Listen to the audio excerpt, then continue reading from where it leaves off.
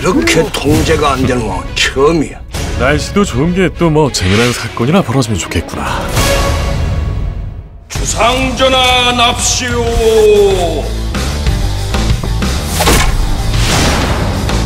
당장 풀어을 시작하겠다.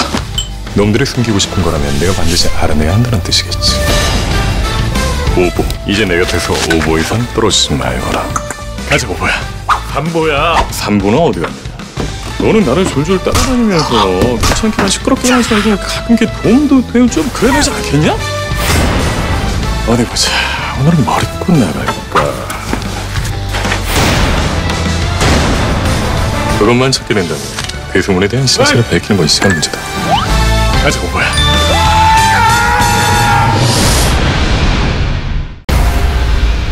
전? 하? 전하 저를 꼭 이리 알토란같이 괴롭히셔야지 직성이 풀리시겠습니까? 완벽해 오늘부로 예문관에 배속된 검열 윤희설아 하옵니다 전화.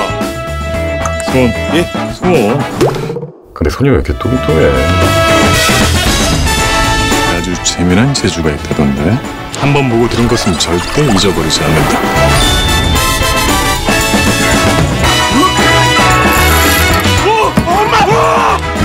오버는 dun하기도 당대 제일이다. 제가 왜 그런 비밀스러운 일을 해야 하는 겁니까? 어명인데?